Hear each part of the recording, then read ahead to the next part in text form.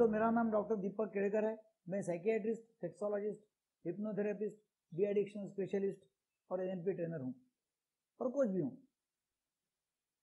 मैं प्रैक्टिस करता हूँ अकोला में एज ए साइकियाट्रिस्ट और इसमें काफ़ी सारे पेशेंट मुझे ऐसे आते हैं कि जो उम्र में 20 35 साल के बीच के रहते हैं, और उनको काफ़ी सारे प्रॉब्लम्स रहते हैं जो कॉमन है आज के ज़माने में। प्रॉब्लम कौन से है? एक तो उनको लगता है कि अपना फ्यूचर कैसा होगा? फ्यूचर में कैसा होगा?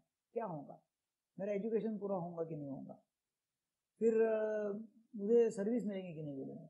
बिज़नेस में कंपटीशन इतनी बड़ी हुई है, मैं कोई बिज़नेस चालू कर सकूँगा कि नहीं सकूँगा? लोन मिलेगा क्या? कंपटीशन तो बहुत ज़्यादा हो गई है, और कंपटीशन से तो लोग मारे जा रहे हैं।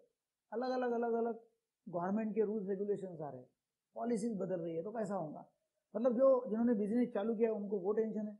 जिन्होंने चालू नहीं किया उनको चालू करने का टेंशन है। जो पढ़ाई कर रहे हैं उनको ऐसा लगता है कि अपनी पढ़ाई होंगी कि नहीं होंगी। और उसमें फिर उनको आ, ऐसे कुछ लक्षण दिखाई देते हैं जिसमें हाथ कांपना हाथ थर थर थर ऐसे कांपते रहते हैं। दिल में धड़कन होती है। और काफ़ी सारे लोगों को बेचैनी होते रहते बेचैनी रेस्टलेसनेस उनको एक जगह बैठना अच्छा नहीं लगता। इधर से उधर जाओ उधर से इधर जाओ। और नींद नहीं आना आ, कोई काम में उत्साह नहीं रहना।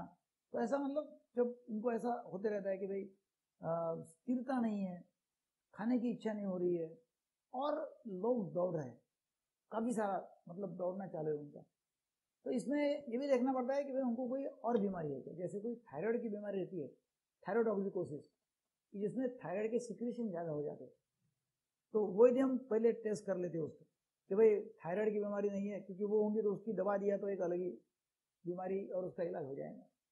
मगर बाकी भी, यदि शारीरिक कोई बीमारी नहीं है, शरीर की कोई बदन की बीमारी नहीं है, और ऐसे लक्षण है तो उसको ज़रूरत होती है उसके सबकॉन्शियस माइंड के प्रोग्रामिंग की, उसके इनर माइंड के प्रोग्रामिंग की, उसकी जो विचारधारा है, उसको लगता है कि अभी मैं कमज़ोर हूँ, मैं शक्तिहीन हूँ, मैं सामना नहीं कर सकूँगा, सामने बड़े सारे प्रॉब्लम्स है चैलेंजेस है, और वो एक उसकी बिलीफ सिस्टम ऐसी बन जाती है कि अभी मेरे लिए मुश्किल है। और फिर वो घर बैठ जाता है। इसमें होता क्या है, फिर फेसबुक देखो, उसमें टाइम पास करो। व्हाट्सएप उसमें टाइम पास करो। नेट उसमें टाइम पास करो सर्फिंग करो। या फिर अभी इतने में काफ़ी सारे बच्चे मेरे पास में आए, जिन्होंने एडिक्शन चालू किया कैनबिस का, भाँग का। तो या फिर शराब का। ऐसा है कि शराब नहीं पिया तो लोग बोलते रहे शराब नहीं पी रहा तू। कैसा है तू। तो शराब पीना बोले तो एक स्टेटस सिंबल है। शराब तो कोई भी पीता है। फिर लगता है कि नहीं, अभी मुझे कोई सुनने वाला होगा और होना चाहिए। बाकी लोगों को गर्लफ्रेंड है या बॉयफ्रेंड है, अभी मुझे भी होना चाहिए। फिर उसके चक्कर में एक तो लड़का भी आया था डिप्रेस डाउन था।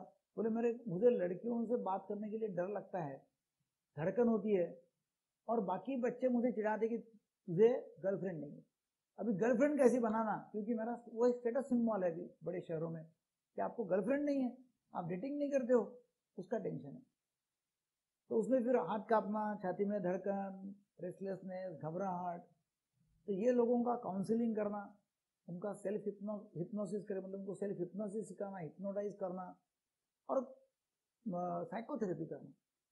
उनके सबकॉन्शियस माइंड को नए सिरे से प्रोग्रामिंग करना। नए कॉन्वर्जेशन सबकॉन्शियस माइंड में मतलब अंतर्मन में डालना, वो ज़रूरी होता है।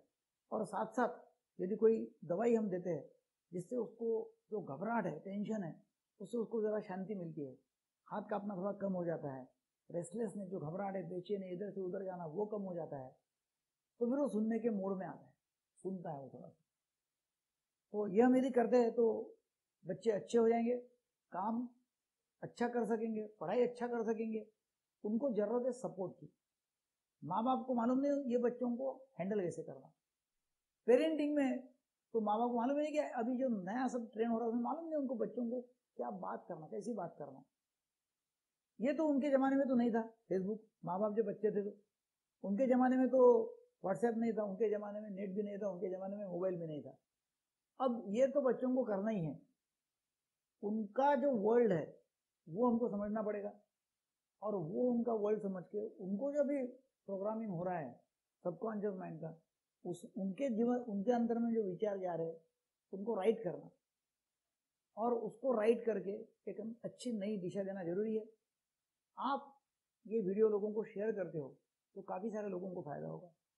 काफ़ी सारे बच्चों को अच्छा लगेगा कि नहीं भाई, मैं ये तरीके से जाता हूँ तो मैं एक अच्छा जीवन जी सकता हूँ, अच्छी पढ़ाई कर सकता हूँ अच्छा बिज़नेस चालू कर सकता हूँ, या जो बिज़नेस है उसमें ग्रो कर सकता हूँ। तो आप ज़रूर सब्सक्राइब कीजिएगा शेयर करो लाइक करो थैंक यू वेरी मच